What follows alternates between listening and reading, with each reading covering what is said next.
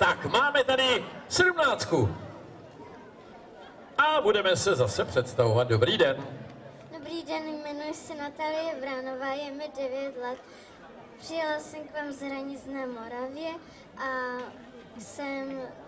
Přijela jsem... V hranických mažoretech. Výborně, tak. Dodáme k tomu něco málo. Pozor, duben.